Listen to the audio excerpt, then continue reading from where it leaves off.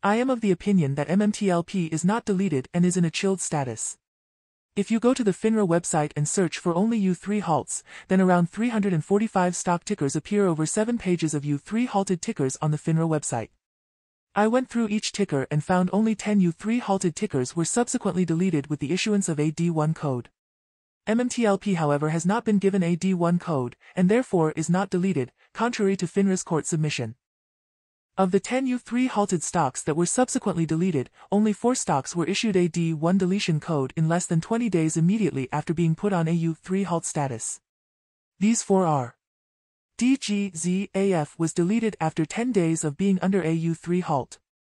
DXTRQ was deleted on the third day of being under a U3 halt. EXGI was deleted on the fourth day of being under a U3 halt.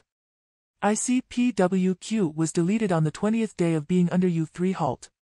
The remaining six stocks were deleted after their U3 halt status converted into a U1 halt or H10 halt status.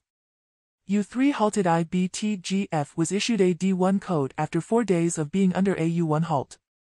U3 halted ISQMF was issued a D1 code after three months of being under a U1 halt.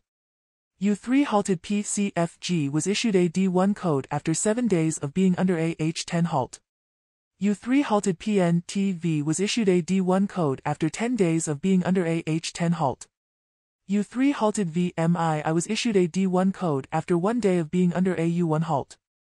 U3 halted VODG was issued a D1 code after 10 days of being under a H10 halt.